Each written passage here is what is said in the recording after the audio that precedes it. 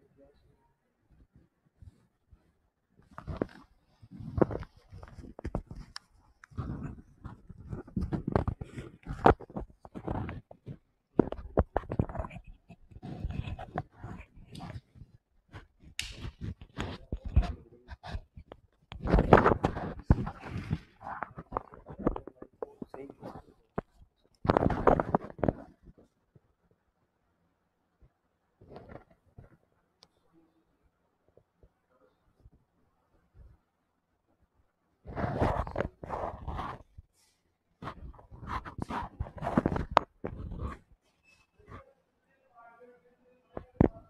footage.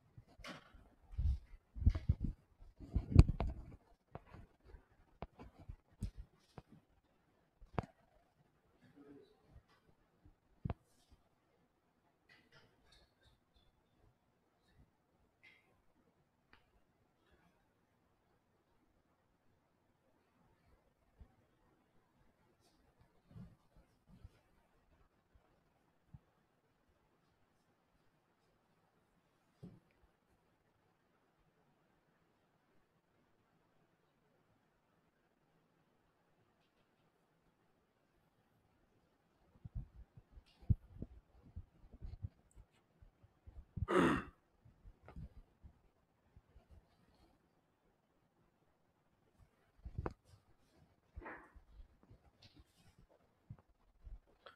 Evening दोस्तों। मैं आपका अपना संदीप डांगी डॉक्टर ग्रीन के ऑनलाइन डिजिटल प्लेटफॉर्म पर आप सभी का हार्दिक स्वागत करता हूँ।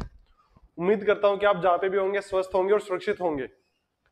आज अपन, जैसे कि आप सभी को पता है कि काफ़ी समय बाद में अपन जो यूट्यूब पे लाइव सेशन लेके आए हैं, जिसके अंदर आपकी सबसे पहले केमिस्ट्री क्लास हो गई है, उसके बाद में श्रवण सर द्वारा एग्रीकल्चर की क्लास हुई है, और अब मैं बायोलॉजी के कुछ इंपॉर्टेंट टॉपिक्स है, उनके बारे में अपन डिस्कस करेंगे। तो ठीक है दोस्तों, सबसे पहले जो अपन आज टॉपिक डिस्कस करने वाले हैं, वो अपना टॉपिक होगा एनिमल डाइवर्सिटी यानी कि जंतु वर्गीकरण। तो जंतु वर्गीकरण से बात करें अपन सबसे पहले कि जंतु वर्गीकरण क्या है, उसके बारे में अपने को पता होना चाहिए थोड़ा बहुत। जीवो में पाई जाने वाली विभिन्नता, यानी कि जो वर्ष वेरिएशन होता है एनिमल्स के अंदर, उसे अपन क्या कहते हैं? उसे ही अपन डाइवर्सिटी कहते हैं। तो जैसे कि आप सभी को पता होगा कि इस पृथ्वी पे, या अपने चारों तरफ़ अपन लोग पशु, पक्षी और जो छोटे इंसेक्ट वगैरह होते हैं, उन सबको देखते हैं। तो उनकी एक्सटर्नल मोर्फोलॉजी यानी कि जो बाह्य आकार की होती है, वो सबकी अलग अलग होती है। कोई छोटा होता है, कोई बड़ा होता है, किसी के सिर पे सिर सिर होते हैं, कहीं पे सिर पे आँख होती है, मुँह पे आँख होती है, ऐसे अलग अलग प्रकार की संरचनाएँ अपने को देखने को मिलती है। और सब अलग अलग प्रकार के ऑर्गेनिज्म या जीव देखने को मिलते हैं। तो इनके अंदर जो विभिन्नताएँ पाई जा रही हैं, उसे क्या कहते हैं? जंतु विविधता या एनिमल डाइवर्सिटी कहते हैं। अभी आप सभी लोगों को पता होगा कि जो अपन एनिमल डाइवर्सिटी स्टार्ट करने वाले हैं ये जेट के एग्ज़ाम पॉइंट ऑफ़ व्यू से काफ़ी इंपोर्टेंट टॉपिक है। आप सभी को पता होगा शायद इससे छह या सात क्वेश्चन आपके हर बार एग्ज़ाम के अंदर आते हैं, जो कि काफ़ी इंपॉर्टेंट टॉपिक है जेट के थ्रू से। तो छह लास्ट टाइम की बात करें 2020 की जेट के एग्ज़ाम के तो वहाँ पे 20 क्वेश्चन सॉरी सात क्वेश्चन आए थे इसके एनिमल डाइवर्सिटी के, पूरे पेपर के अंदर। तो अपने को ये जो टॉपिक है, काफ़ी अच्छे से पढ़ना है। और इसके अंदर जितने भी क्वेश्चन है, उनको सही तरीके से एक एक ऑप्शन वाइज पता होना चाहिए और उसके बारे में अपन देखने चलेंगे। तो लेक्चर स्टार्ट करने से पहले दोस्तों, आप लोगों से रिक्वेस्ट है कि आप इस लिंक को ज़्यादा से ज़्यादा शेयर करो, ताकि ज़्यादा से ज़्यादा स्टूडेंट अपने साथ जुड़ सके। ज़्यादा से ज़्यादा स्टूडेंट अपने साथ जुड़ सके। तो दोस्तों, चलो ठीक है, बात करते हैं अपन। आज अपना टॉपिक होने वाला है एनिमल डाइवर्सिटी तो एनिमल डाइवर्सिटी का सबसे पहला क्वेश्चन है दोस्तों पूर्णतया समुद्री प्राणी कौन से संघों में पाए जाते हैं? Exclusively marine animals are found in which phyla ये जो क्वेश्चन आप यहाँ पे स्क्रीन पे देख रहे हैं, आईसीआर 2020 के अंदर पूछा हुआ क्वेश्चन है। और आप इस क्वेश्चन को ज़्यादा से ज़्यादा कमेंट बॉक्स में आंसर बताएँ कि इसका राइट आंसर क्या होगा। आपके पास ऑप्शन है porifera and coelenterata next option is coelenterata and ctenophora echinodermata and porifera echinodermata and ctenophora ये सब आपके आंसर है। तो आप जल्दी से कमेंट बॉक्स में इसका आंसर बताएँ, इसका राइट आंसर क्या होगा? सबसे पहले हुकुम सिंह भाटी ने बताया D option Mandvi Rathore D Babaji Bavna Kumawat D option Salin Bhatnagar Bavna Heer, Babaji सुमन खोजा, अनिल गुजर, भरतराज पुरोहित, पूजा दाकड़, दिनेश जाट, जुंजार सिंह सी तो मोस्टली देखो दोस्तों, यहाँ पे डी ऑप्शन बता रहे हैं। तो बात करें अपन कि इसका जो राइट आंसर होगा वो क्या होगा? ठीक है? तो मोस्टली बता रहे हैं, यहाँ पे डी ऑप्शन कुछ लोगों ने सी भी बताया है। तो दोस्तों बात करते हैं अपन मराइन वाटर में। मतलब जो समुद्र जल में ऐसे कौन से जीव हैं जो समुद्र जल में रहते हैं? किस के जीव समुद्र जल में रहते हैं? तो बात करें पोरिफेरा और सिलेंटेटा की। तो इन दोनों के जो जीव होते हैं, वो दोनों दोस्तों समुद्री और शौच जल में। समुद्री और शौच जल, दोनों में मिलते हैं। ठीक है? तो ये अपना आंसर सही नहीं होने वाला। उसके बाद में बात करते हैं किसके? सिलेंटेटा और टीनोफोरा। तो टीनोफोरा के जो जीव हैं, वो सभी के सभी जीव किसमें मिलते हैं? मराइन वाटर में मिलते हैं, यानी कि समुद्री जल में मिलते हैं। ठीक है? बात करते हैं इकाइनोड्रमेटा और पोरिफेरा में। तो इकाइनोड्रमेटा के भी सभी जीव किसमें मिलते हैं? समुद्री में, समुद्र में। ठीक है? और एक आता है अपने पास कौन सा? Fourth option echinodermata and ctenophora. तो टीनोफोरा के भी समुद्र में मिलते हैं और किसके? इकाइनोड्रेमेटा के भी समुद्र में मिलते हैं। तो दोनों संघों के जो जीव हैं, वो किसमें मिलेंगे दोस्तों? समुद्र में। तो अपना राइट आंसर कौन सा जाएगा? फोर्थ ऑप्शन राइट आंसर जाएगा। ठीक है? इस लिंक को दोस्तों ज़्यादा से ज़्यादा शेयर करो ताकि ज़्यादा से ज़्यादा स्टूडेंट अपने साथ जुड़ सके। अब बात करते हैं अपन नेक्स्ट क्वेश्चन की।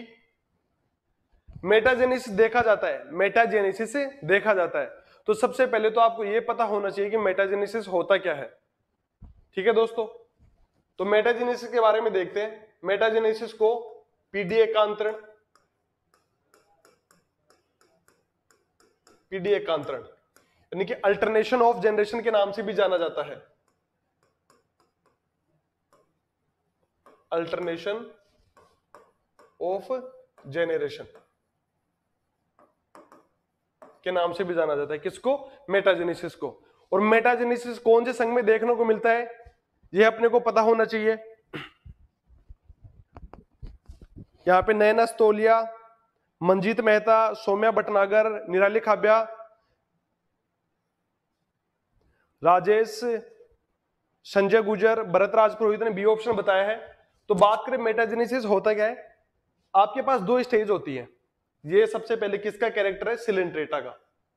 सिलेंट्रेटा सिलेंट्रेटा अपने पास जो फाइलम है, उसका कैरेक्टर है। ठीक है दोस्तों?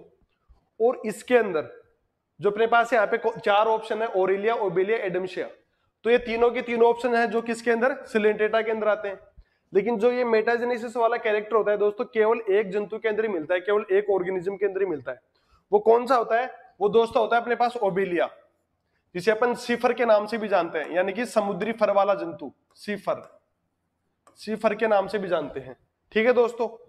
अब मेटाजेनेसिस होता क्या है? अपने को यह पता होना चाहिए। तो देखो यहाँ पे, आप लोगों को समझाने की कोशिश की गई है। एक होता है अपने पास पोलिप, एक होता है मेडुसा। ये अपने पास क्या है? मेडुसा। और यहाँ पे ये क्या दे रखा है दोस्तों अपने पास? पोलिप। तो जो ओबेलिया जीव होता है, उसकी दो संरचनाएँ होती हैं जीव की। एक तो ओबेल सॉरी पोलिप और एक मेडुसा। तो जो मेडुसा होता है दोस्तों, ये किसके अंदर कन्वर्ट हो जाता है? पोलिप के अंदर। पोलिप के अंदर किसके द्वारा? लैंगिक जनन यानी कि सेक्सुअल रिप्रोडक्शन के द्वारा। सेक्सुअल रिप्रोडक्शन लैंगिक जनन के द्वारा। लैंगिक जनन। और पोलिप वापस मेडुसा के अंदर कन्वर्ट हो जाता है। पोलिप वापस किसमें कन्वर्ट हो जाता है? मेडुसा के अंदर। किसके द्वारा? एलिंगिक जनन के द्वारा। एसेक्सुअल रिप्रोडक्शन एसेक्सुअल रिप्रोडक्शन यानी कि एलिंगिक जनन द्वारा। एलिंगिक जनन। तो यहाँ पे अपने पास दो संरचनाएँ या दो बातें सामने आई हैं कि जो ओबेलिया होता है, जिसे सिफर के नाम से जाना जाना जाता है, उसके अंदर दो संरचनाएँ उपस्थित होती है। एक तो पोलिप और एक मेडुसा। तो पोलिप अगर मेडुसा के अंदर परिवर्तित हो रहा है तो वो किसके द्वारा होगा? एसेक्सुअल रिप्रोडक्शन के द्वारा, यानी कि एलिंगिक जनन के द्वारा। जबकि अगर मेडुसा पोलिप के अंदर परिवर्तित होता है तो वो किसके द्वारा होता है? सेक्सुअल रिप्रोडक्शन के द्वारा, यानी कि लैंगिक जनन के द्वारा चेंज होता है दोस्तों। ठीक है? उसके बाद में अपन बात करते हैं नेक्स्ट क्वेश्चन की। क्या होगा जब अमीबा प्रोटियस को समुद्री जल में डाला जाए तो? जो अमीबा प्रोटियस होता है, उसको अगर समुद्री जल में डाल दिया जाता है तो क्या इफ़ेक्ट पड़ेगा? उसके बारे में अपने को पता होना चाहिए। ये क्वेश्चन जेट के अंदर पूछा हुआ भी है। What will be happen when amoeba protein proteus is moved into marine water ठीक है दोस्तों? तो देखो बात करते हैं अपन इसके बारे में अमीबा प्रोटियस अमीबा प्रोटियस यानी कि जो अपन सामान्यतः अमीबा का अध्ययन करते हैं जो जेट के सिलेबस में है उसे अपन अमीबा प्रोटियस नाम से जानते हैं। अब यहाँ पे दिव नाम पद, सबसे पहले ये पता होना चाहिए कि कौन से संघ में आता है। तो ये दोस्तों प्रोटोजोआ संघ के अंदर आता है, ठीक है?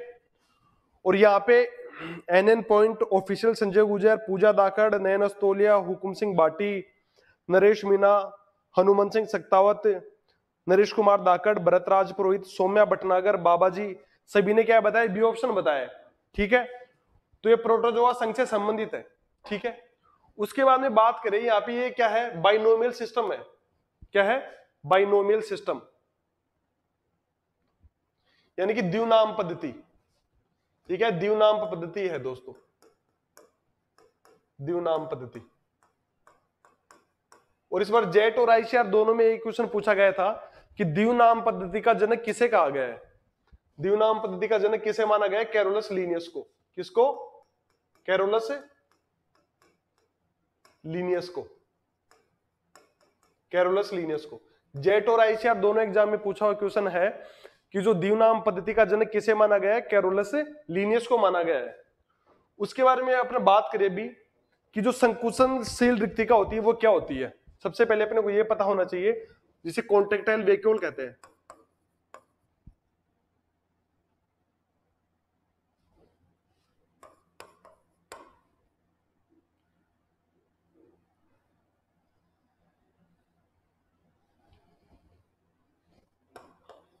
कॉन्ट्रेक्टाइल वैक्यूम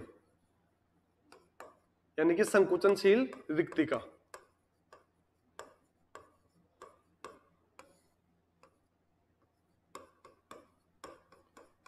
अब संकुचनशील रिक्तिका का कार्य क्या होता है? सबसे पहले यह पता होना चाहिए संकुचनशील रिक्तिका का कार्य क्या होता है। तो इसका कार्य होता है दोस्तों, जल और प्रासरण नियंत्रण। जल और प्रासरण नियंत्रण। यानी कि water and osmosis regulation osmosis regulation ये किसका फ़ंक्शन होता है? कॉन्टेक्टाइल वेक्यूल का फ़ंक्शन होता है। अब ये किसमें मिलती है? अमीबा, जो प्रोटोजोआ के जीव होते हैं, उनके अंदर मिलती है। अमीबा के अंदर एक मिलेगी और पैरामीशियम के अंदर सीवी के जो नंबर होंगे, वो कितने होते हैं? दोस्तों, दो नंबर होते हैं। तो सीवी की बात करते हैं अपन सबसे पहले। कि अगर इसको शौच जल से किसके अंदर? समुद्री जल में सॉरी समुद्री जल से शौच जल के अंदर स्थानांतरित किया जाएगा तो क्या इफ़ेक्ट पड़ेगा? ठीक है? एक बार दोबारा देखते हैं क्वेश्चन क्या है। समुद्री जल में डाला जाए तो मतलब इसको शौच जल से समुद्री जल में स्थानांतरित किया जा रहा है तो इसके ऊपर क्या इफ़ेक्ट पड़ेगा? उसके बारे में अपने को पढ़ना है। तो जिसे मान लेते हैं अपन, इसका काम क्या है? जल और प्राशन नियंत्रण का। अगर शौच जल में रह रही है तो इसका काम क्या होगा? जो अमीबा को, जो लवणों की मात्रा होगी, उसका नियंत्रण करने के लिए इसका कार्य होगा। तो जल और प्राशन का नियंत्रण, यानी कि जल और लवणों की मात्रा को नियंत्रण करने का कार्य किसका होगा? कॉन्ट्रेक्टाइल वेक्यूल में। कब जब ये शौच जल में होगी, तब। क्योंकि वहाँ पे लवणों की शौच जल के अंदर जो लवणों की मात्रा होती है, वो दोस्तों क्या होती है?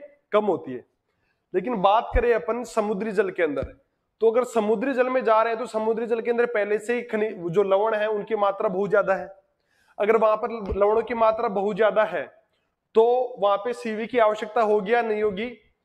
वहाँ पे सीवी की आवश्यकता बिल्कुल भी नहीं होगी, क्योंकि लवण पहले से ही बहुत ज़्यादा है तो शरीर को जितने चाहिए होंगे उतने वो अपने आप शरीर के अंदर ले लेगी। ठीक है दोस्तों? तो जैसे ये इसी तरह से है, जैसे अगर रोड लाइट की बात करें रोड लाइट का अगर दिन में जला दे तो उसका कोई इफ़ेक्ट नहीं होने वाला, क्योंकि लाइट तो वैसे भी सूरज से आ रही है, लेकिन अगर उसको अंधेरे में, यानी कि नाइट के टाइम पे नहीं जलाएँगे तो ज़्यादा इफ़ेक्ट पड़ेगा। तो अगर शौच जल के अंदर सीवी अनुपस्थित होगी तो वहाँ पे ज़्यादा इफ़ेक्टिव होगा, उस टाइम पे जो अमीबा है वो सर्वाइव नहीं कर पाएगा। ठीक है? अब बात यह है क्वेश्चन ये पूछा था कि समुद्री जल में स्थानांतरित कर दिया जाता है। मतलब शौच जल से, यानी कि फ्रेश वाटर से। शौच जल से कहाँ पे स्थानांतरित कर रहे हैं अपन? समुद्री जल में। समुद्री जल में। तो क्या हो जाएगी, जो सीवी है, यानी कि संकुचनशील रिक्तिका वो क्या हो जाएगी? विलुप्त तो हो जाएगी। ठीक है? अगर इसी को अभी समुद्री जल से कहाँ पे स्थानांतरित कर दिया जाता है, शौच जल के अंदर तो सीवी दोबारा प्रकट हो जाएगी। यहाँ पे दो कंडीशन हो गई अपने पास कौन कौन सी? एक तो शौच जल से समुद्री जल में स्थानांतरित करते हैं तो सीवी विलुप्त हो जाएगी, और समुद्री जल से शौच जल में स्थानांतरित करते हैं तो सीवी वापस से प्रकट हो जाती है। ठीक है? ये इस प्रकार से होती है। अब सीवी की संरचना देखते हैं। तो ये अपने पास सीवी की देखो, ये जो आपको दिखाई दे रही है यहाँ पे, ये सीवी की संरचना है दोस्तों। ये सीवी है, यानी कि कॉन्ट्रेक्टाइल वैक्यूम किसके अंदर? अमीबा के अंदर। तो बात करें, अमीबा के अंदर इसके नंबर होते हैं दोस्तों। अमीबा के अंदर कॉन्ट्रेक्टाइल वेक्यूल का नंबर होगा एक, जबकि एक होता है प्रोटोजोआ का ही पैरामेशियम पैरामेशियम इसके अंदर सीवी के नंबर होंगे दोस्तों दो, ठीक है? काफ़ी इंपोर्टेंट क्वेश्चन है। तो अपन क्वेश्चन पे चलते हैं वहाँ पे। क्वेश्चन था अपने पास कि जो अगर समुद्री जल में डाल दिया जाए तो क्या इफ़ेक्ट होगा? तो अपने पास ऑप्शन है, संकुचनशील रक्तदानी अधिक सक्रिय हो जाती है। बिल्कुल गलत बात है। संकुचनशील रसदानी विलुप्त हो जाएगी तथा अमीबा संकुचित हो जाएगा। यह सही बात है। शौच जल से अगर समुद्री जल में जाते हैं तो क्या होगा? जो सीवी है, वो क्या हो जाएगी? विलुप्त हो जाएगी। तो अपना राइट आंसर कौन सा जाएगा? सेकंड ऑप्शन जाएगा, दोस्तों। अब बात करते हैं अपन नेक्स्ट क्वेश्चन की। नेक्स्ट क्वेश्चन आपके सामने प्लेनेरिया का उत्सर्जी अंग है। Excretory organ of planaria is आपके पास ऑप्शन है। ज्वाला कोशिका यानी कि फ्लेम सेल्स उत्सर्जिंग का नेफ्रीडिया रेनेट सेल्स और मेटानेफ्रीडिया तो जल्दी से कमेंट बॉक्स में आंसर बताएँ, इसका राइट आंसर क्या जाएगा? सभी जल्दी से जल्दी आंसर बताएँ। सुमन खोजा, ए बता रहे हैं। Hanuman Singh Saktawat first. Bhavna Heer, A. Nayan Stolia A. Pooja Dakad, A. Saumya Bhatnagar, A. Parveen Madhav, A. Kaushalya Kothari, Meenal Babaji, Raju, official Sanjay, Nayan Dinesh Jat, Aditya. सभी का answer यहाँ पे, mostly का answer आ रहा है, first आ रहा है। ठीक है? तो प्लेनेरिया। तो यहाँ पे देखो, क्वेश्चन की बात करते हैं, प्लेनेरिया। प्लेनेरिया कौन से संघ में आता है? कौन से फाइलम से रिलेटेड है? तो आप सबको पता होगा प्लेनेरिया पी फोर प्लेटी हेलमेंथीज यानी कि कहा से रिलेटेड है ये? प्लेटी हेलमेंथीज प्लेटी हेल मिंथेज तो किस संघ के अंदर आता है ये? प्लेटी हेल मिंथेज ठीक है? अब यहीं पे पलिनेरिया के अंदर एक गुण और होता है, पुनरुद्भवन की सर्वाधिक क्षमता। किसकी क्षमता? पुनरुद्भवन की। Regeneration capacity. जो रीजनरेशन कैपेसिटी है वो सबसे ज़्यादा किसके अंदर होती है? प्लेन एरिया के अंदर होती है दोस्तों। और प्लेन एरिया किससे संबंधित है? प्लेटिया हेलमेंथी संघ से संबंधित है। तो यहाँ पे पीपी से आप याद कर लेना। P four planaria. प्लेनेरिया कौन से संघ में आता है? प्लेटिया हेलमेंथीज में। उसके अलावा इसके अंदर कौन सी क्षमता सर्वाधिक होती है? पुनरुद्भवन, यानी कि रीजनरेशन की कैपेसिटी सर्वाधिक होती है दोस्तों। अब बात करते हैं इसकी जो जो एक्सक्रीटरी ऑर्गन है जिनके द्वारा ये उत्सर्जन का कार्य करता है एक्सक्रीशन का काम करता है, वो कौन से होते हैं?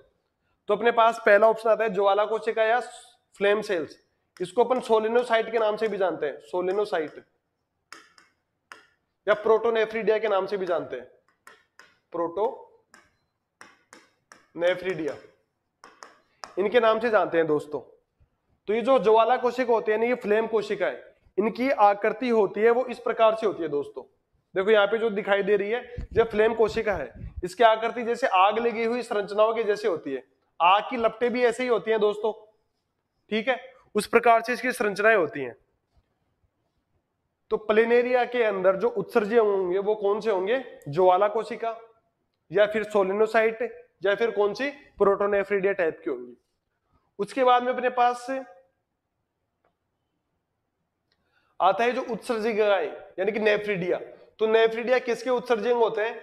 ये आप लोगों को पता होगा, एनेलिडा। यानी कि जिसके अंदर क्या आता है? केंचो आता है अपना। तो जितने भी एनेलिड्स होते हैं, उनके अंदर, सबके अंदर उत्सर्जन क्या होंगे? नेफ्रीडिया के होंगे। रेनेट कोशिकाएँ। जो रेनेट कोशिकाएँ होती है, वो दोस्तों एस के हेलमेंथिज के अंदर आती हैं। एस के हेल मिंथेज के अंदर। जो एस के हेल मिंथेज संघ है अपना जैसे संघ है अपने पास 11 उसके बाद में कोऑर्डिनेट आ जाते तो 12 हो जाते हैं। तो उसके अंदर एक संघ आता है जैसे एस के हेलमेंथिज उसके उत्सर्जन कौन से हैं? रेनेट कोशिका, ठीक है? और मेटानेफ्रीडिया टाइप की किडनी होती है दोस्तों, वो होती है आपके पास राम के पास। राम आप लोगों ने नाम सुना होगा। रेप्टाइल्स एबीज और मैमल्स यानी कि सरिसर्प, पक्षी और स्तनदारी उनके अंदर किस टाइप की किडनी मिलेगी? मेटानेफ्रीडिया टाइप की किडनी मिलेगी। तो यहाँ पे जो अपना आंसर जाने वाला है दोस्तों, कौन सा जाने वाला है? फ़र्स्ट आंसर एकदम बिल्कुल सही आंसर आपका प्लेनेरिया अब बात करते हैं अपन नेक्स्ट क्वेश्चन की। नेक्स्ट क्वेश्चन अपना टीनिया सोलियम की कौन सी लार्वा अवस्था जो मानव के लिए संक्रमणकारी होती है? Which is the larval form of Taenia solium that is infectious for human और आपके ऑप्शन आपके पास ब्लेडर वर्म ओनकोस्पियर हेक्जाकेंथ और सिस्टी सर्कस ये चार ऑप्शन आपके पास, और जल्दी से कमेंट बॉक्स में आंसर बताएँ, इसका राइट आंसर क्या होगा?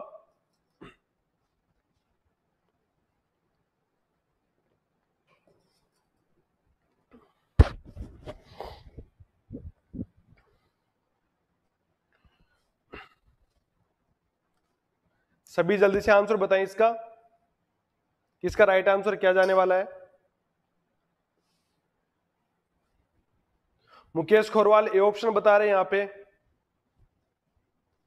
टीनिया सोलियम, बिल्कुल फ्लेट वर्म के अंदर आता है, प्लेटी हेलमेंथिज। नरेश मीना दिखाई नहीं दे रहा।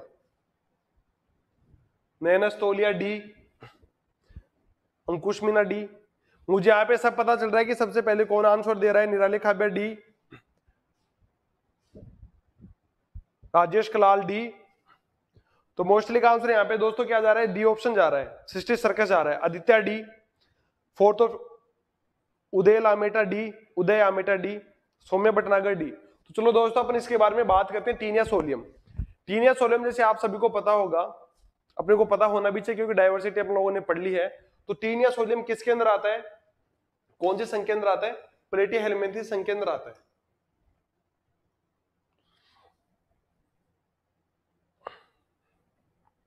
कौन से के अंदर आता है? प्लेटी हेलमेंथीज के अंदर। प्लेटीहेल मिंथेज।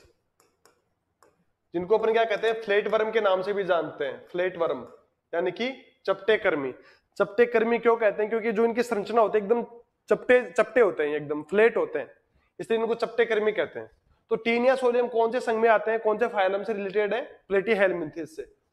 और इसे क्या कहते हैं? अपन फ्लेट वर्म के नाम से भी जानते हैं। अब क्वेश्चन ये पूछ रहा है कि ये जो ह्यूमन होता है, मानव होता है, उसके अंदर इसकी कौन सी अवस्था संक्रमण करती है इन्फेक्शन करती है। तो बात करते हैं अपने पास चार ऑप्शन है यहाँ पे bladder white oncosphere hexacanth और सिस्टी सर्कस तो ब्लेडर वर्म क्या होता है? सबसे पहले अपने को पता होना चाहिए ब्लेडर वर्म क्या होता है? तो टीनिया सोलियम होता है टीएस यानी कि टीनिया सोलियम उसकी जो इमेच्योर स्टेज होती है, कि इमेच्योर स्टेज इमेच्योर स्टेज वो क्या कहलाएगी? अपने पास ब्लेडर वर्म कहलाती है, ठीक है? ये ह्यूमन को कभी भी इन्फेक्ट नहीं कर सकती, ठीक? उसके बाद में बात करें अपन ओनको स्फेयर की। ओनको स्फेयर क्या होता है दोस्तों? और उससे पहले अपने को पढ़ना पड़ेगा हेक्जाकेंथ तो जैसे ही एग निकलता है एग से हैचिंग होती है तो वहाँ से जो ऑर्गेनिज्म निकलेगा, उसे अपन क्या कहेंगे? हेक्जाकेंथ कहेंगे। एग से जैसे ही हैचिंग होती है, उसके बाद में जो ऑर्गेनिज्म निकलेगा टीनिया सोलियम का उसे अपन क्या कहेंगे? हेक्जाकेंथ कहते हैं। ठीक है दोस्तों? और हेक्जाकेंथ आगे डेवलप होकर किसका निर्माण करेगा? ओनको स्पेयर का निर्माण करेगा। ठीक है? और जब ओनको स्पेयर मेच्योर होके किसका निर्माण करेगा? सिस्टी सर्कस का निर्माण करता है। तो सिस्टी सर्कस क्या है? मेच्योर प्रावस्था है, यानी कि परिपक्व प्रावस्था है किसकी? टीनिया सोलियम की। तो टीनिया सोलियम की मेच्योर प्रावस्था कौन सी यानी कि परिपक्व प्रावस्था कौन सी है? Cysticercus. अगर ये मेच्योर प्रावस्था है तो यही क्या करेगी? संक्रमण करेगी। क्या करेगी? संक्रमण। ठीक है दोस्तों? ये संक्रमण कर रही है तो मानव में संक्रमण के लिए कौन सी प्रावस्था या कौन सी स्टेज जिम्मेदार है? Cysticercus. तो अपना राइट आंसर कौन सा जाएगा? फोर्थ ऑप्शन राइट आंसर चला जाएगा। अब नेक्स्ट क्वेश्चन की बात करते हैं अपन। आपके पास यहाँ पे क्वेश्चन है, नीचे दिए गए वाक्य में ए व बी की जगह पर रिक्त स्थानों की पूर्ति कीजिए। ठीक है? यहाँ पे आपके पास है व्यस्क इकाइनोड्रमेट्स, जहाँ पे ब्लैंक दिया रख, दे रखा है और ए ऑप्शन दे रखा है प्रदर्शित करते हैं, लेकिन लार्वा बी प्रदर्शित करते हैं मतलब जो एडल्ट होते हैं, यानी कि वेस्ट को होते हैं इकाइनोड्रमेटा के, वो कौन सी अवस्था, यानी कि सम्मिति प्रदर्शित करते हैं और जो लार्वा होते हैं, वो कौन सी सम्मिति प्रदर्शित करते हैं, ये अपने को पूछ रहा है fill in the blanks at site A and B in the given below sentence. The adult echinodermis show A, but larva show B. तो आप जल्दी से इसका सही कमेंट बॉक्स में आंसर बताएँ। इसका राइट आंसर क्या होगा? सुमन कोजा, सबसे पहले आंसर बताया ए है। अंकुश मीना ए। नयनस्तोलिया ए।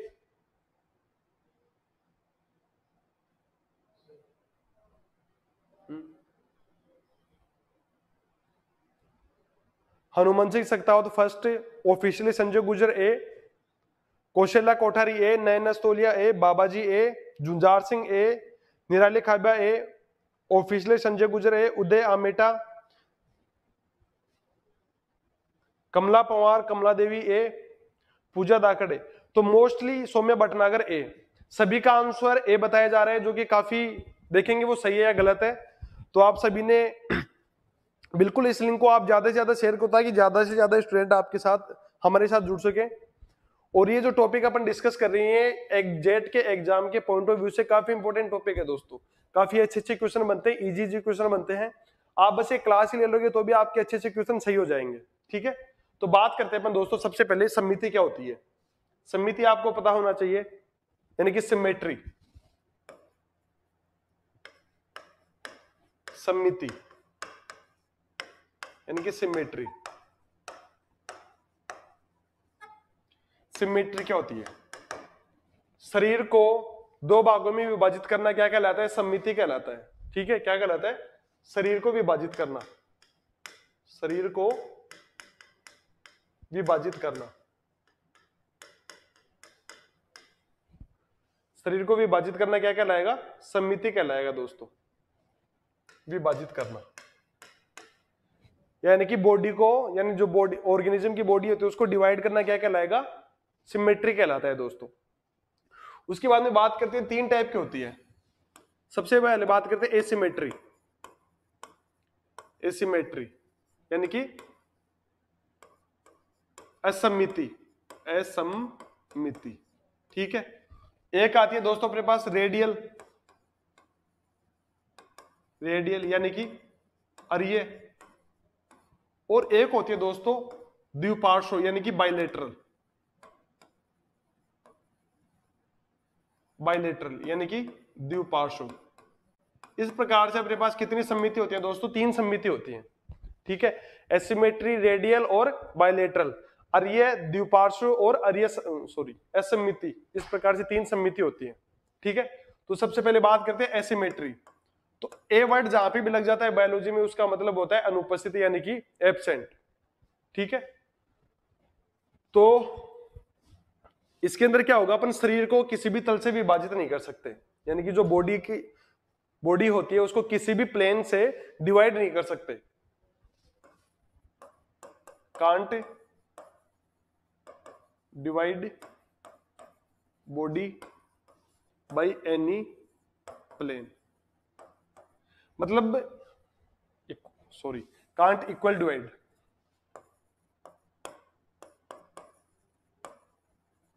यानी कि बॉडी होती है ऑर्गेनिज्म की, उसको किसी भी प्लेन से दो इक्वल पार्ट्स में डिवाइड नहीं कर सकते। ऐसी सिमेट्री को क्या कहते हैं अपन? एसिमेट्री कहते हैं। जैसे बात करें कैसे? जैसे अपने पास ये अमीबा होता है इस प्रकार से।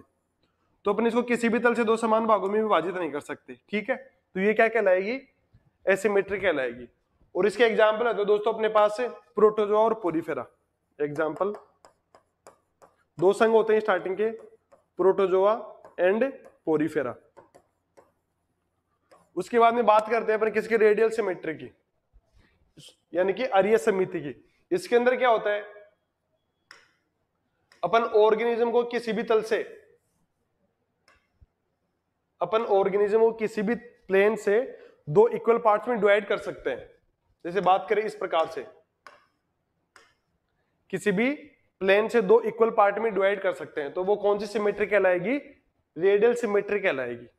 और इसके एग्ज़ाम्पल है तो दोस्तों सिलेंट्रेटा और टीनोफोरा सिलेंट्रेटा एंड टीनोफोरा इस प्रकार से ये एग्ज़ाम्पल होते अपने पास। Can equal divide in two parts by any plane ठीक है दोस्तों, अपने पास दो सिमेट्री हो गई। अब तीसरी जो सिमेट्री होती है, उसके लिए मतलब बात करें अपन जैसे,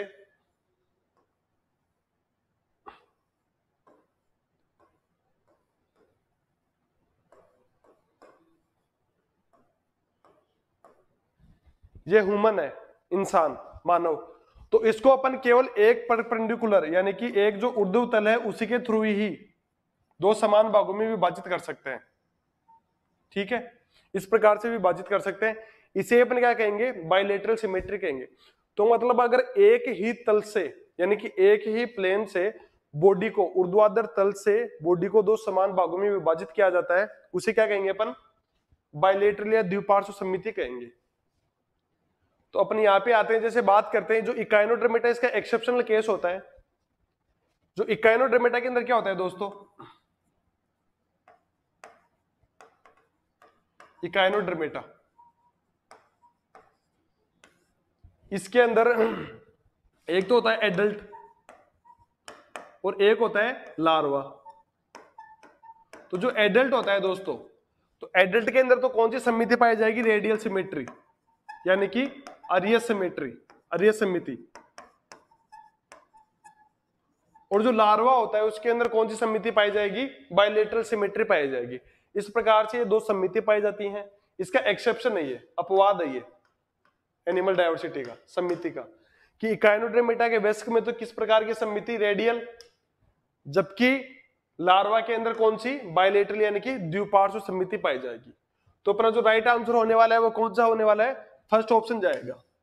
यानी कि ए के अंदर रेडियल सिमेट्री और बी के अंदर बायोलेटरल सिमेट्री ठीक है दोस्तों? अब चलते हैं नेक्स्ट क्वेश्चन पे। अपना नेक्स्ट क्वेश्चन है दोस्तों। स्क्रीन पे आ गया। ओस्फ्रेडियम एक संवेदी रचना है, जो मोलस्का में पाया जाता है, और यह है इसका कार्य क्या होता है? Osphradium is a sensory structure which is found in mollusca it act as और आपके पास ऑप्शन है, संतुलनकारी अंग, यानी कि बैलेंसिंग ऑर्गन तापग्राही अंग, यानी कि थर्मोरिसेप्टर रसायन ग्राही, यानी कि कीमोरिसेप्टर और कंपन ग्राही, यानी कि रेलोरिसेप्टर तो आप सभी जल्दी से कमेंट बॉक्स में आंसर बताएँ, इसका राइट आंसर क्या होगा? यहाँ पे राजू सरकार ने सबसे पहले आंसर बताया, सी, सुमन खोजा, सी, निराली खाब्या, सी, अंकुश मीना, सी, पूजा दाकर सी, बावना, हीर, जुंजार सिंह, विकास गुजर। तो मोस्टली जिन्होंने भी आंसर बताया, उन्होंने थर्ड ऑप्शन बताया। सौम्या भटनागर थर्ड हुकुम सिंह बाटी थर्ड तो इसको अपन चेक करते हैं कि इसका राइट आंसर क्या होगा। तो सबसे पहले ओस्फ्रीडियम क्या है? इसके बारे में पता होना चाहिए आपको। और ये कौन से संघ में आता है? यहाँ पे पूरी डिटेल दे रखा है कि ओस्फ्रीडियम एक जो सेंसरी ऑर्गन होता है और किसमें मिलता है? मोलस्का के अंदर। तो यहाँ से आप में जेट से ये भी क्वेश्चन पूछ सकता है कि ओस्फेरिडियम एक सेंसरी ऑर्गन होता है जो किस फाइलम में मिलता है? ठीक है? तो कौन से फाइलम में आएगा? मोलस्का में आएगा। उसके बाद में बात करते हैं, इसका फ़ंक्शन क्या होता है? तो इसके फ़ंक्शन की बात करते हैं, जो वाटर बॉडी के अंदर आता है, यानी कि पानी शरीर के अंदर आता है। उसका केमिकल नेचर डिटेक्ट करने के लिए ये ओस्फ्रेडियम प्रेजेंट होता है। मतलब ओस्फ्रेडियम का फ़ंक्शन क्या होगा?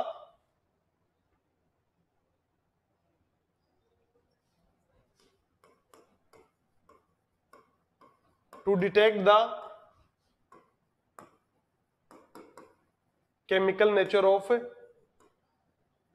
chemical nature of water. यानी जो शरीर के अंदर पानी प्रवेश करेगा, उसका रासायनिक परीक्षण करने के लिए कौन उपस्थित होगा? ओस्फेरेडियम उपस्थित होगा। तो ये क्या हो गया? एक रसायन ग्राही, क्योंकि जो वाटर होता है, उसके अंदर अलग अलग टाइप के केमिकल्स प्रेजेंट होते हैं और उनको डिटेक्ट करने के लिए, उनकी पहचान करने के लिए अपने पास कौन सी स्ट्रक्चर उपस्थित होगी? ओस्फेरेडियम, जो कि किसके अंदर प्रेजेंट होती है? मोलस्का क्लास मोलस्का संघ के अंदर प्रेजेंट होती है। अब बात करें कि जो ओस्फेरेडियम होता है, वो दिखाई कैसे देता है? तो आपको जो यहाँ पे स्क्रीन पे दिखाई दे रहा है, ये एक ओस, देखो, यहाँ पे ये क्या है? ओस्फेरेडियम अपने पास। ये क्या करेगा? और इसके पास देखो गिल्स है, ठीक है? तो जैसे पानी अंदर करेगा, पानी अंदर की तरफ़ आएगा तो ये ओस्फ्रेडियम एक्टिव हो जाएगा और उसको वाटर की केमिकल जो नेचर है, जो रासायनिक प्रकृति है, उसको डिटेक्ट करने को, उसको जाँच करने का काम कौन करेगा? अपने पास ओस्फ्रेडियम करेगा। ये ओस्फ्रोडियम की संरचना होती है, दोस्तों। नेक्स्ट क्वेश्चन पे चलते हैं अपन। सबसे विशिष्ट स्तनीय अभिलाक्षण गुण कौन सा है? Which is the most unique mammalian character feature और आपके पास ऑप्शन दे रखे हैं यहाँ पे, त्वचा पर रोम की उपस्थिति presence of hair on skin second option is वर्षण, वर्षणों का, वर्षण कोष में पाया जाना। Presence of testis in scrotum third option is कर्ण पल्लों की उपस्थिति presence of ear pinna and fourth option is दुग्ध श्रवण ग्रंथियों की उपस्थिति presence of milk production gland मतलब जो मिल्क प्रोड्यूशन यानी कि मिल्क का प्रोडक्शन करते हैं उन ग्लैंड की प्रजेंस तो यहाँ पे सभी जल्दी से कमेंट बॉक्स में आंसर बताएँ, इसका राइट आंसर क्या होगा? अंकुश मीना निराली, मुकेश खोरवाल, अंकुश उदय आमेटा भावना हिट जुजार सिंह ऑफिशियली संजय गुजर, उदय आमेटा, कौशल्या कोठारी संजय गुजर कमला पवार, मुकेश खोरवाल सभी ने मोस्टली ने डी आंसर डी आंसर बताया ठीक है दोस्तों? तो लेट्स चेक इट कि इसका राइट आंसर क्या होगा। और ये भी एग्ज़ाम के लिए इस बार आईसीआर के अंदर पूछा हुआ क्वेश्चन है ये। आईसीआर 2020 के अंदर पूछा हुआ क्वेश्चन है कि जो मेमल्स होते हैं, यानी कि स्तनधारी होते हैं, उनका सबसे मेन कैरेक्टर क्या होता है? ठीक है? मेमल्स का, यानी कि स्तनधारियों का सबसे प्रमुख लक्षण क्या है? जिसकी वजह से अपन उनको अलग अलग वर्गों में वर्गीकृत करते हैं। तो बात करें जैसे अपन त्वचा पर रोम की उपस्थिति। तो त्वचा पर रोम की उपस्थिति ये एक जनरल कैरेक्टर है, ये मोस्टली मिल ही जाएगा। ये स्तनधारियों का कैरेक्टर नहीं है, ठीक है? करण पल्लव की उपस्थिति तो यहाँ पे सबसे जो स्पेसिफिक कैरेक्टर है वो है दोस्तों, दुग्ध श्रवण ग्रंथि की उपस्थिति, जो सबसे मेमेलरी ग्लैंड होती है, यानी कि स्तन ग्रंथियाँ होती है, जिनके द्वारा क्या होता है? दुग्ध का श्रवण होता है। वो ग्रंथियाँ किसका लक्षण होते हैं? स्तनधारियों का। अब यहाँ पे देखते हैं अपन कि एक होता है अपने पास प्रोलेक्टिन हार्मोन, ये दुग्ध, और एक होता है दोस्तों ऑक्सीटोसिन ऑक्सीटोसिन हार्मोन। ठीक है दोस्तों, यहाँ पे दो प्रकार के हार्मोन मिलते हैं अपने पास। एक तो प्रोलेक्टिन हार्मोन होता है, एक ऑक्सीटोसिन होता है। तो प्रोलेक्टिन हार्मोन क्या करेगा? दूध का निर्माण करेगा, यानी कि मिल्क फॉर्मेशन का काम करेगा। Milk formation. यहाँ पे लिख रखा है, देखो, कि दुग्ध ग्रंथियों से किसका श्रावण होता है? दुग्ध का श्रावण होता है। तो दुग्ध का निर्माण कौन करेगा? दुग्ध ग्रंथियों में प्रोलेक्टिन हार्मोन, जिसे अपन क्या कहेंगे? ये इसका काम क्या होगा? दुग्ध का निर्माण करना। एक होता है ऑक्सीटोसिन हार्मोन, या जिसे अपन लव हार्मोन के नाम से भी जानते हैं। ठीक है? फीलिंग्स के लिए ये रेस्पॉन्सिबल होता है, या अट्रैक्शन के लिए मान सकते हैं, कौन सा हार्मोन रेस्पॉन्सिबल होता है अपोजिट सेक्स के लिए अट्रैक्शन होता है, वो किसकी वजह से होता है? ऑक्सीटोसिन हार्मोन या फिर लव हार्मोन के नाम से भी जानते हैं। इसका फ़ंक्शन क्या होता है? मिल्क सिक्रेशन यानी कि दुग्ध का श्रावण करना। दुग्ध का सिक्रेशन दुग्ध तो यहाँ पे देखो दो चीज़ें अपने पास सामने आ गई कि स्तनधारियों का सबसे प्रमुख लक्षण कौन सा है? स्तन ग्रंथियों की उपस्थिति। स्तन ग्रंथियों से किसका श्रावण होगा? दूध का श्रावण होगा। वो कौन से हार्मोन की वजह से होगा? ऑक्सीटोसिन हार्मोन की वजह से। तो उस दूध को निर्माण के लिए कौन सा हार्मोन आएगा? प्रोलेक्टिन हार्मोन आएगा। ठीक है? ठीक है दोस्तों। और यहीं पे दूध के अंदर कौन सी शर्करा उपस्थित होती है? लेक्टोज शर्करा उपस्थित होती है। लेक्टोज शुगर इस प्रकार से देखो दोस्तों। ठीक है? नेक्स्ट क्वेश्चन पे चलते हैं अपन। नेक्स्ट क्वेश्चन आपका पादप विहीन एम्फीबियन है लिम्बलेस एम्फीबियन इज़ और आपके ऑप्शन है Rana Ichthyophis Ophiosaurus and Salamandra तो जल्दी से कमेंट बॉक्स में आंसर बताएँ।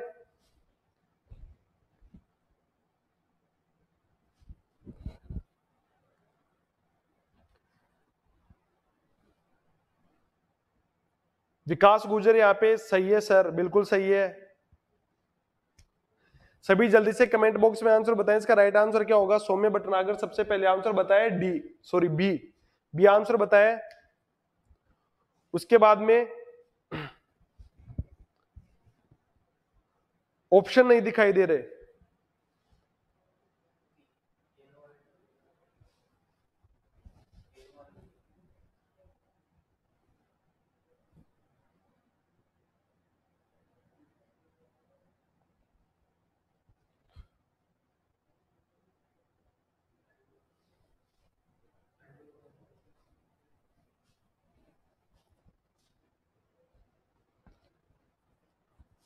एन एन पॉइंट ने सी बताया, अंकुश मीना ने भी बताया, शुभम शर्मा ने भी बताया नैन तो दिखाई नहीं दे रहा। शायद अभी सही से दिखाई दे रहा होगा, वो कुछ टेक्निकल इश्यू हो जाते हैं कभी कभी Suman Khoja B Shubhman, Shubham Sharma B Pooja Dakhad B Sanwar Gehlot C Parveen Madhav C Babaji two, Uday Ameta B तो मोस्टली बता रहे हैं बी ऑप्शन बता रहे हैं। पादविहीन एम्फीबियंस तो पादविहीन एम्फीबियंस की बात करें दोस्तों अपन।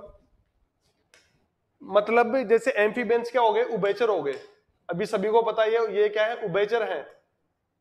उबेचर एम्फी का मतलब क्या होता है? दो और बियन मतलब यानी कि बायो से बना है बियन तो मतलब दो जीव जीवन करने वाले क्या हो गए? एम्फीबेंस हो गए। दो जीवन जी, जीने वाले क्या हो गए? एम्फीबेंस हो गए। इनको एक तरीके से एक और क्या कहा जाता है? प्रथम स्थलधारी या प्रथम स्थलीय। क्योंकि सबसे पहले अपन बात करें उद्विकास की तो उद्विकास में सबसे पहले कशेरुके में कौन आते हैं? मछली आती है। मछलियों के बाद में, यानी कि फिशेज आते हैं। फिशेज के बाद में एम्फीबियंस आते हैं। तो जो एम्फीबियंस होते हैं दोस्तों, ये वाटर में भी रहते हैं और कहाँ पे? लैंड पे भी रहते हैं, यानी कि टेरिस्टेरियल भी होते हैं। तो सबसे पहले जो टेरिस्टेरियल यानी कि जो स्थल पे आए थे, वो कौन से होते हैं? एम्फीबियंस यानी कि प्रथम स्थलीय फ़र्स्ट टेरिस्टेरियल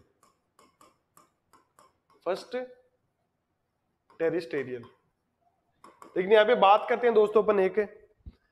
ये तो प्रथम स्थलीय हो गए। एक आता है, प्रथम पूर्णतः स्थलीय। प्रथम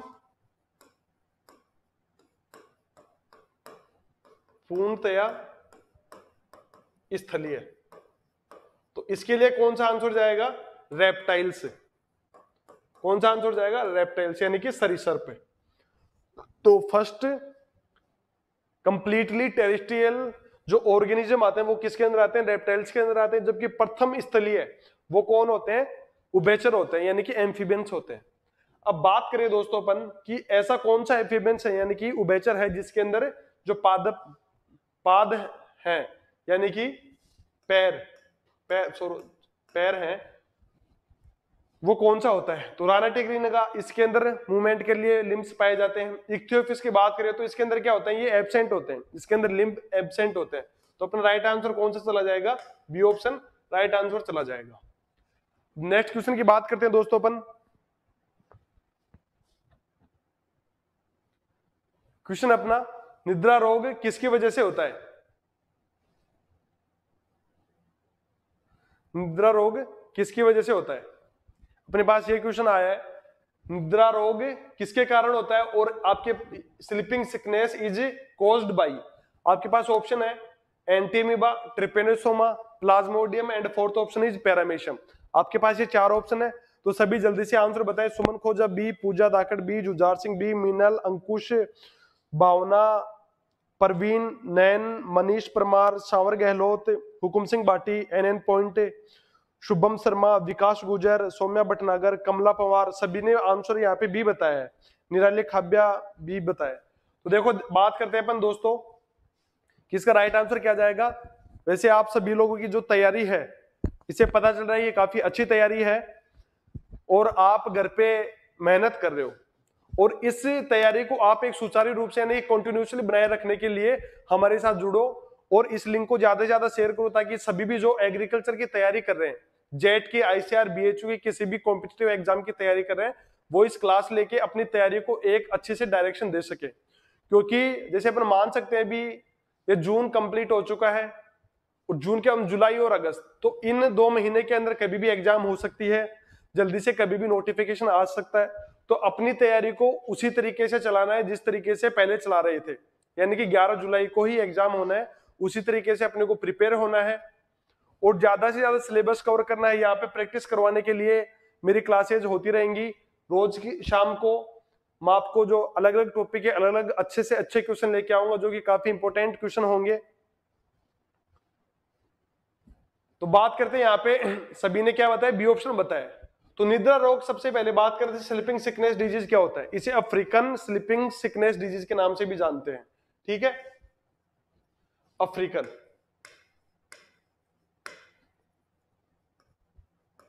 और अफ्रीकन स्लीपिंग सिकनेस। यानी कि अफ्रीकन निद्रा रोग के नाम से भी जानते हैं इसको। अब इसको निद्रा रोग क्यों कहते हैं? क्योंकि जब ये रोग होता है तो इसके अंदर अपनी जो नींद होती है, उसके अंदर व्यवधान यानी कि डिस्टर्बेंस उत्पन्न होता है। इस वजह इसको क्या कहते हैं? निद्रा रोग कहते हैं। इसके काफ़ी कैरेक्टर्स होते हैं, जैसे हेड एक यानी कि सरदर्द होना बॉडी पेन करना फीवर आना और वेट का लॉस होना और अल्सर होना, ये सब के सारे के सारे डिज़ीज़ किसके अंदर हो जाते हैं? स्लीपिंग सिकनेस के अंदर हो जाते हैं। ठीक है? ये सबसे पहले अफ्रीका के जंगलों में मिला था, वहीं पे ज़्यादा होता है ये, इसलिए इसको अफ्रीकन स्लीपिंग डिज़ीज़ सिकनेस के नाम से भी जानते हैं। इसका सबसे इंपॉर्टेंट है कि ये किसके वजह से होता है? तो ये होता है दोस्तों ट्रिपेनोसोमा गेबियंस के नाम के एक प्रोटोजोन से होता है। ट्रिपेनोसोमा गेम्बियंस ट्रिपेनोसोमा गेम्बियंस एक प्रोटोजोन होता है, उसकी वजह से होता है। तो यहाँ से देखो, तीन से चार क्वेश्चन बन रहे हैं, वो मैं आपको बता रहा हूँ कि सबसे पहले क्वेश्चन तो ये बनता है कि जो स्लिपिंग डिज़ीज़ होता है, यानी कि स्लिपिंग सिकनेस होता है, उसको कौन कौन सा ऑर्गेनिज्म करता है, उसका उसका आंसर क्या जाएगा? Trypanosoma gambiense. उसके बाद में कि जो स्लिपिंग सिकनेस डिज़ीज़ होता है, वो किसके द्वारा होता है?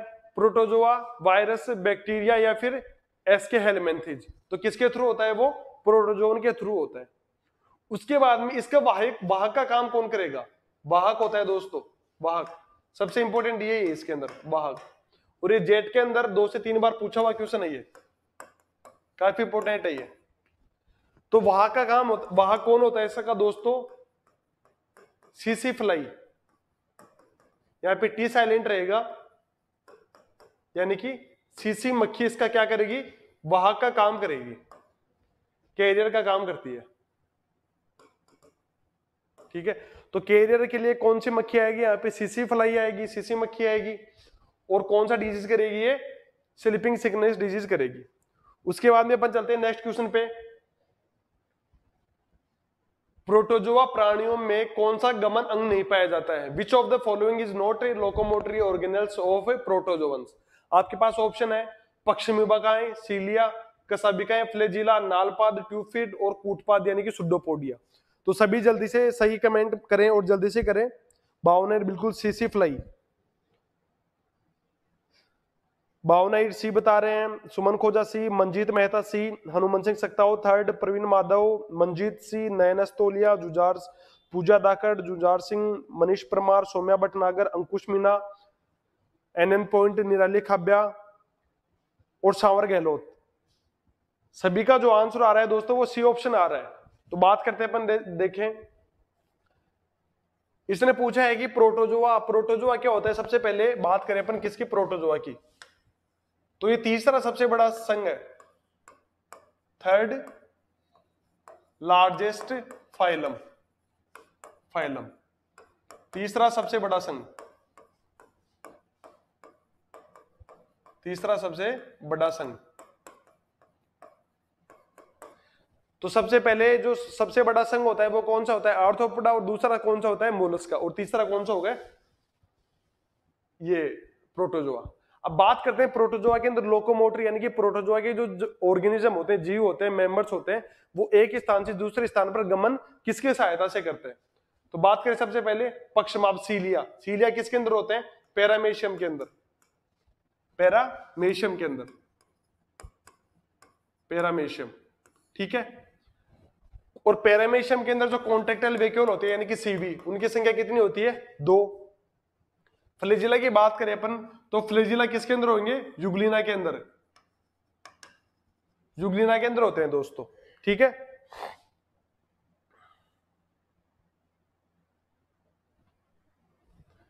नालपात की बात करें तो इकाइनोड्रमेटा।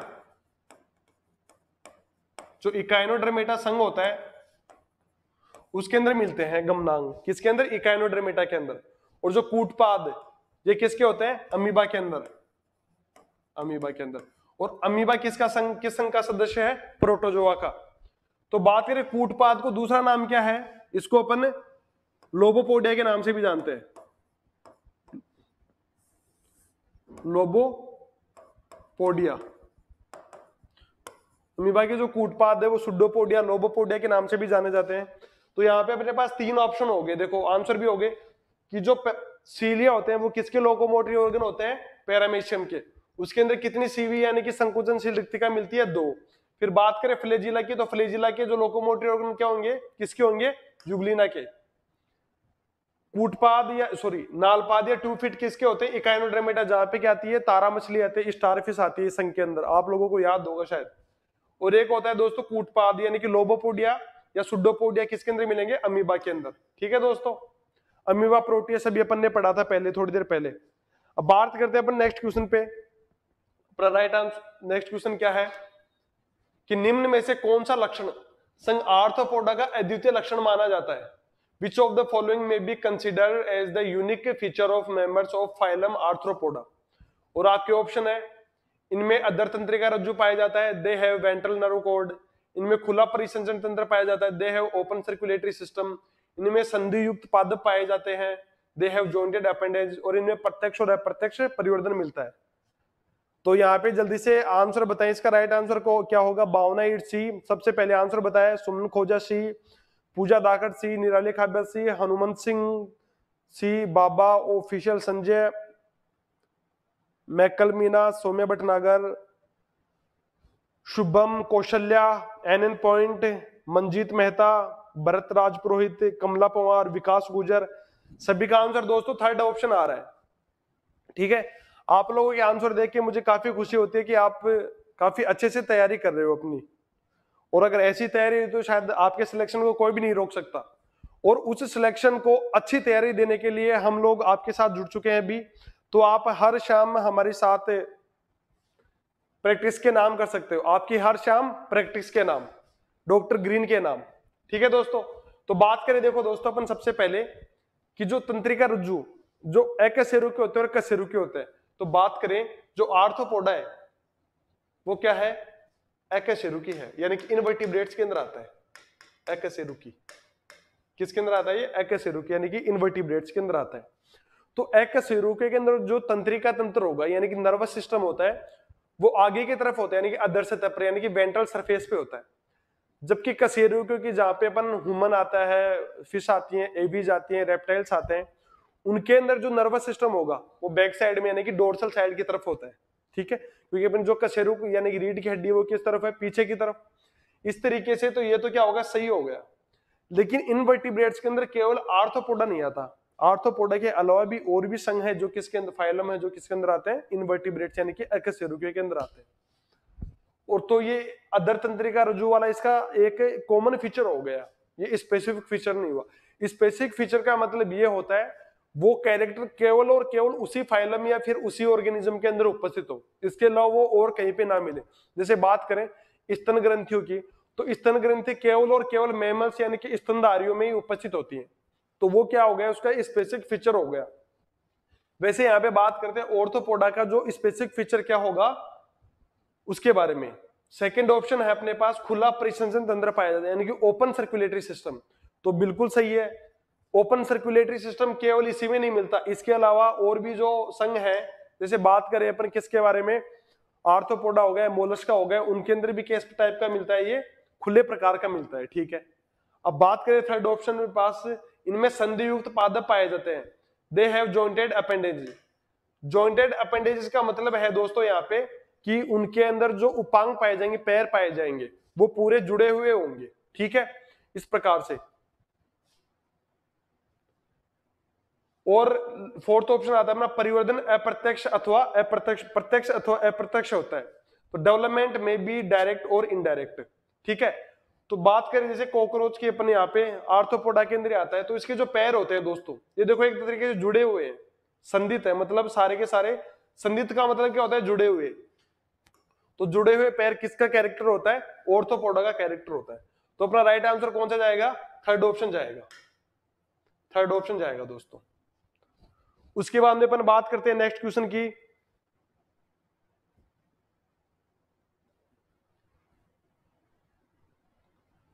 नेरिस एपिस कोलुम्बा मैक्रोपस और किलोन के विषय में क्या एक सही है? What is the true about Nereis Apis Columba Macropus and Chelone सबसे सही क्वेश्चन है ये। और अच्छा क्वेश्चन है। ठीक है? ये मोस्ट क्वेश्चन है दोस्तों। और इसमें काफ़ी कुछ पूछ लिया एक क्वेश्चन में ही। तो आप जल्दी से आंसर बताएँ इसका राइट आंसर क्या जाएगा? आपके पास ऑप्शन है पृष्ठ खोखली की तंत्रिका रज्जु dorsal hollow nerve cord second option है अदर ठोस तंत्रिका रज्जु। थर्ड ऑप्शन है बंद परिषण तंत्र और फोर्थ ऑप्शन है मेटामेरिज्म यानी कि तो यहाँ पे जल्दी से आंसर बताएँ, देखते हैं इसका राइट आंसर कौन देता है। भावना ने थर्ड बताया, मीनल थर्ड पूजा दाकड़ सी, सुमन, खोजा, सी ऑफिशियल संजय गुजर विकास गुजर बाबा जी राहुल, सी, प्रवीण, माधव। मैं अभी भी सही आंसर की ट्राई कर रहा हूँ कि सही आंसर कौन बताएगा इसका। तो जल्दी से आंसर बता दे इसके इसका राइट आंसर क्या होगा। चलो ठीक है, बात करते हैं ये आपको जहाँ पे ये नाम बता रखे हैं, ये देखो बायोलॉजिकल नाम है। बायोलॉजिकल नेम है जूलॉजिकल नेम है। तो सबसे पहले बात करें नेरिस की। नेरिस किस संघ में आता है? एनेलिडा में। एनेलिडा में। चलो ठीक है एनेलिडा में आ गया। Apis Apis indica Apis mellifera ये किसके अंदर आते हैं? Dharmendra Yadav hello sir good Manjeet Mehta D बिल्कुल। सबसे पहले जो सही आंसर बताया मंजीत मेहता ने बताया और सब लोगों ने गलत आंसर बताया काफ़ी अच्छा क्वेश्चन है ये। जो एपिस है ये किसके अंदर आते हैं? आर्थ्रोपोडा के अंदर। आर्थ्रोपोडा के अंदर। मैक्रोपस क्या होता है दोस्तों? मैक्रोपस होता है कंगारू। कंगारू, ठीक है? और कोलुम्बा क्या होता है? कोलुम्बा होता है दोस्तों कबूतर, यानी कि पिजन। चलो। तो जो कंगारू और कबूतर आते हैं, किसके अंदर आते हैं? मेमल्स के अंदर आते हैं, यानी कि कोडेटा हो गया। ठीक है? और किलोन किलोन क्या होता है? जो टर्टल होता है। ग्रीन टर्टल होता है, उसको अपने क्या कहते हैं? किलोन कहते हैं। ये अपने पास हो गए। तो ग्रीन टर्टल ये मैमल्स वगैरह, ये सब किसके अंदर आते हैं? कोडेट्स के अंदर आते हैं। जबकि आर्थ्रोपोडा के आर्थ्रोपोडा और एनिलिडा किसके अंदर आते हैं? इनवर्टिब्रेट्स के अंदर। एनिलिडा के अंदर बात करें पृष्ठ खोखली का तंत्रिका रज्जु। पृष्ठ मतलब पीछे की तरफ़, यानी कि डोर्सल साइड पे। तो एनिलिडा और आर्थ्रोपोडा, यानी कि नेरिस और एपिस के अंदर जो डोर्सल जो नर्व कोड होगा, वो एबसेंट होगा। क्योंकि वो तो वेंट्रल साइड पे पाई जाती है नर्वस सिस्टम तो इसके अंदर। तो ये अपने पास है। फ़र्स्ट ऑप्शन क्या हो गया? रोंग हो गया दोस्तों। चलो ठीक है। नेक्स्ट ऑप्शन पे चलते हैं। अदर ठोस तंत्रिका रज्जु। तो अदर ठोस तंत्रिका रज्जु भी सबके अंदर नहीं मिलता। क्योंकि जो ये इनके अंदर मिलेगा नेरिस और एपिस के अंदर, जबकि कोलंबा मैक्रोपस और किलेन के अंदर क्या होगा? एबसेंट। तो ये ऑप्शन भी अपने पास क्या हो गया? गलत। थर्ड ऑप्शन की बात करें अपन क्लोज सर्कुलेटरी सिस्टम तो क्लोज सर्कुलेटरी सिस्टम की बात करें नेरिज के अंदर बिल्कुल मिलता है, लेकिन जो हनी भी होती है, यानी कि एपिस मेलिफेरा एपिस इंडिका उसके अंदर किस टाइप का मिलेगा? ओपन टाइप क्या मिलेगा दोस्तों? ओपन टाइप सर्कुलेटरी सिस्टम मिलेगा, ठीक है? तो ये भी अपना गलत हो गया, क्योंकि सबके अंदर तो मिल नहीं रहा। तो अपने पास फोर्थ ऑप्शन कौन सा बच गया? मेटामिलिज्म यानी कि विखंडनावस्था। तो ये अपना राइट आंसर जाएगा। तो बात करते हैं विखंडावस्था क्या होता है? शरीर का खंडों में विभक्त होना। शरीर का खंडों में विभक्त होना क्या कहलाएगा? मेटामेरिज्म कहलाएगा, यानी विखंडावस्था कहलाएगा। इसमें तीन प्रकार के होते हैं। एक तो होता है अपने पास तो दोस्तों एनेलिडा। एनेलिडा। एक होता है अपने पास arthropoda. Arthropoda.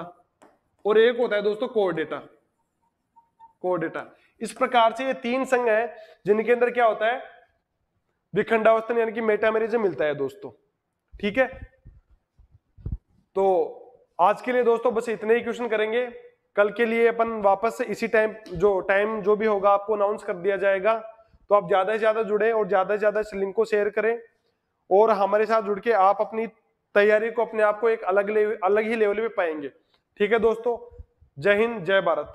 Good night thank you